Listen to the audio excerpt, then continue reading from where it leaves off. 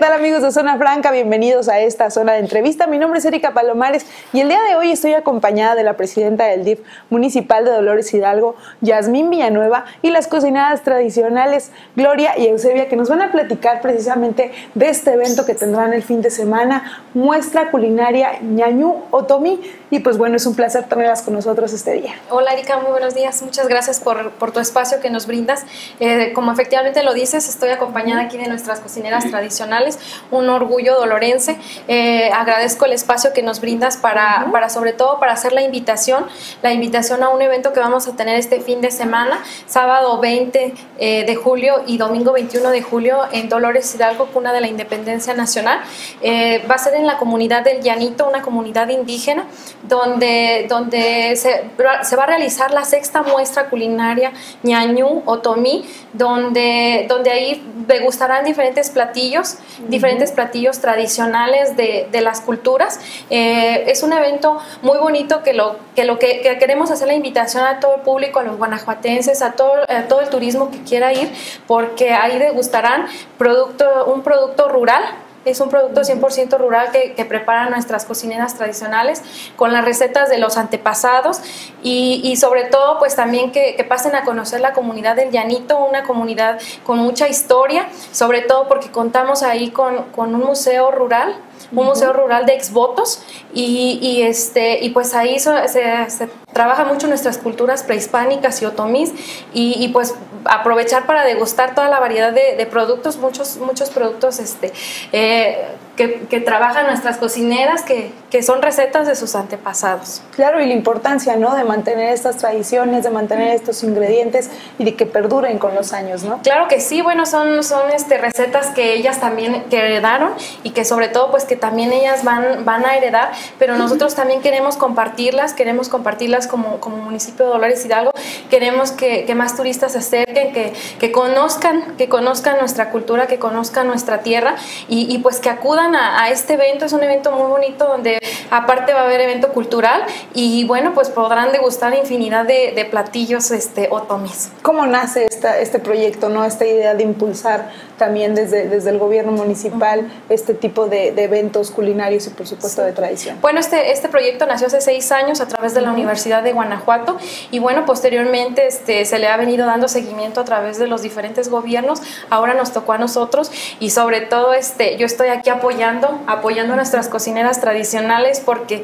ahora este, las mujeres hemos ganado un, un lugar y sobre todo pues ahorita también yo estoy apoyándolas a ellas para, para empoderar a nuestras cocineras tradicionales, que es un proyecto que también tiene nuestro presidente municipal, Miguel Ángel Rayas, donde este, me ha pedido que, que venga en su representación, pero, pero yo también vengo con mucho gusto a, a, apoyar sobre todo porque, porque las mujeres ahora ya, ya estamos este, abarcando otros, otros este, ámbitos y sobre todo ahorita impulsar a nuestras, a nuestras cocineras.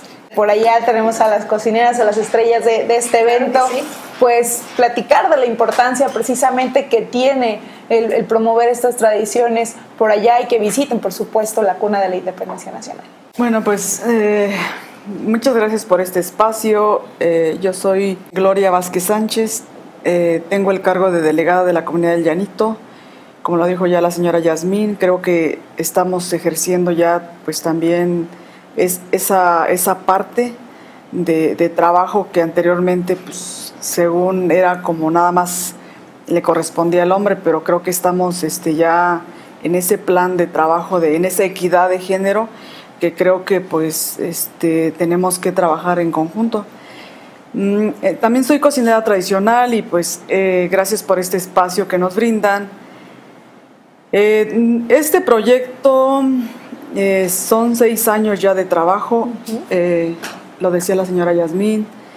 Eh, el programa La Universidad de Guanajuato trabaja desde hace 20 años con nosotros y este, este gran proyecto ellos fueron nuestros impulsores, ya que a través de, de, de trabajos que han realizado con nosotros, pues ellos mismos nos enseñaron a descubrir todas las riquezas y los, yo, yo digo las riquezas, los tesoros que estaban ahí escondidos, y riquezas y tesoros porque son herencias de nuestras abuelas, herencias de nuestros antepasados, así como la tortilla sellada, la tortilla ceremonial. Eh, nosotros ahorita en este proyecto la estamos dando a conocer porque anteriormente nuestros, nuestras abuelas, ellas solamente no la, la mostraron a nosotros, ellas no se la mostraron al, pueblo, a la comunidad, a, nadie, sino solamente nos enseñaron el significado, el por qué se hacía, por qué, a, dónde, a, dónde se tenía que estar esa tortilla ceremonial, que era a la ofrenda de la fiesta patronal y dedicada a las ánimas, igual, ellas se la dedicaban igual a las personas que ya no estaban entre ellos, ahora nosotros se la seguimos eh, dedicando igual a, ellos, porque tampoco ya no están pues todos nuestros abuelos con nosotros. Entonces, pues de ahí surge ese, ese proyecto y iniciamos este grupo de 15 cocineras, que la verdad pues eh, Hemos trabajado en conjunto, en unión y también con disciplina para poder, para poder seguir y para poder sobrellevar este gran proyecto. Entonces sí queremos que nos, nos vayan a conocer. Cada año van de diferentes lugares. Eso nos enriquece mucho, nos da pues más fuerzas para seguir trabajando. De diferentes lugares en, cada año nos visitan. Entonces esa es la invitación de estar aquí.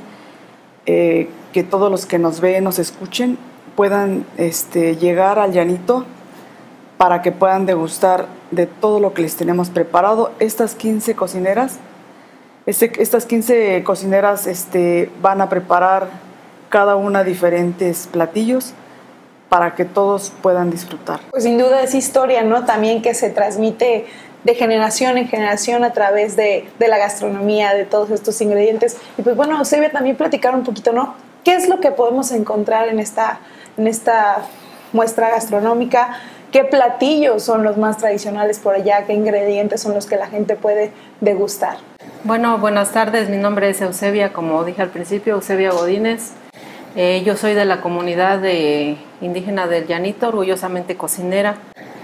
Pues vamos a tener muchísimos platillos. Yo creo que ahorita no terminaría de nombrarlos a todos. Somos 15 y entre las 15 van hasta 10 platillos por, por cocinera. Para que se animen a ir, ¿verdad? eh, antójanos, antójanos. Los que más se, antojarían serían pues los capones, eh, quelites. Y por supuesto todo va acompañado con la tortilla ceremonial las tostadas rayadas, los burritos rellenos de frijoles enchilados, con una salsa bien picosa. Eh, ahora sí que picosa y no picosa, el sabor de, al gusto de la, de la persona. Pues no pueden faltar, hay, hay muchísimos, está el caldito de rata, el caldo de conejo, la ardilla en, chile chipotle, en chile pasilla, en sus diferentes presentaciones. ¿Qué puede visitar además de esta, de, esta muestra la gente que vaya por allá al llanito? ¿Qué es lo que hay para ver también en aquel lugar? Eh, pues nosotros también contamos con nuestra historia, este, tenemos pues ahora sí que van a poder, en, cuestión de historia y nuestras culturas, pues van a poder degustar de las bandas que, de viento que son de la misma localidad, las danzas, podrán visitar el templo que pues este, tenemos pinturas este, rupestres este, que se están, están en restauración, pero son pinturas del siglo XVIII. Y aparte todavía también se trabaja la alfarería de barro. Todavía van a encontrar la alfarería de barro por los torneros de la misma comunidad. Entonces, todo lo que van a encontrar es por ciento natural, ya que la tortilla ceremonial está hecha del maíz criollo, del maíz que todavía se siembra en la misma comunidad.